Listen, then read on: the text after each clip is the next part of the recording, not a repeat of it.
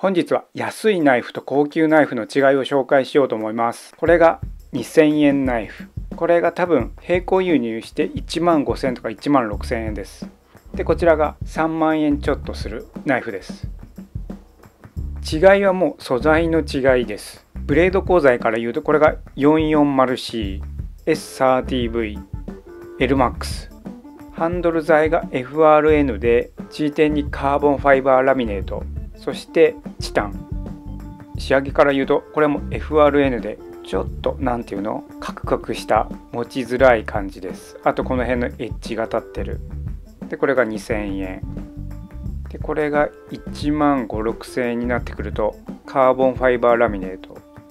サテンフィニッシュが綺麗。CPM の S30V 2万円オーバーしてくるとハンドル材がチタンになります。そしてこれすごく高いのはこのチタンにこのグルービング加工。これが高いんだと思います。G10 にもこういう美しい加工がされてます。LMAX でスパイダルコとイタリアのライオンスティールのコラボモデル。素材と仕上げの美しさの違い。ナイフとしてやっぱり使いやすいのは1万円ぐらいのナイフで。使ってる素材もいいですし仕上げも綺麗。そしてやっぱりいいナイフが多いです。自分が安いナイフを買う時はもうステンレスしか見てないです。中国の 8CR ナイフでもちゃんと 8CR と表記されていたら買う。